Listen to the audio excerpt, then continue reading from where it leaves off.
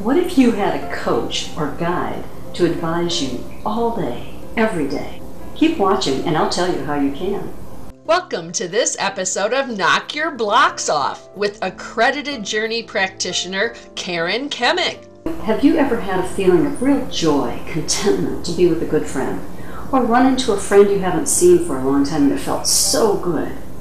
Have you ever felt goosebumps when someone says something or you read something that really resonates with you? You know that this is important.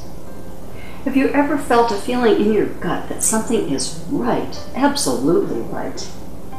Have you ever gotten tears in your eyes because you know and feel the truth of what has just been said?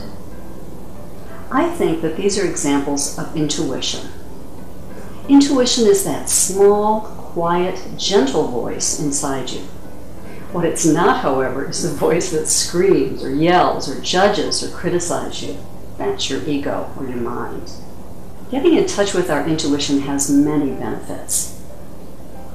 It can help us to make decisions, whether they're for work or your personal life.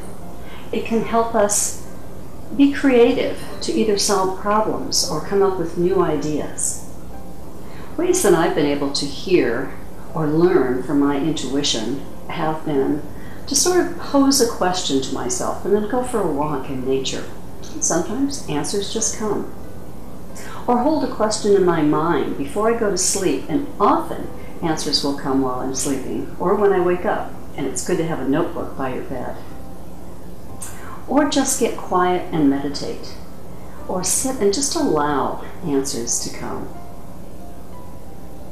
And the key thing is getting quiet. And that means turning off or getting away from the TV, the iPods, the computers, all of our electro- electronic devices, and just sitting quietly.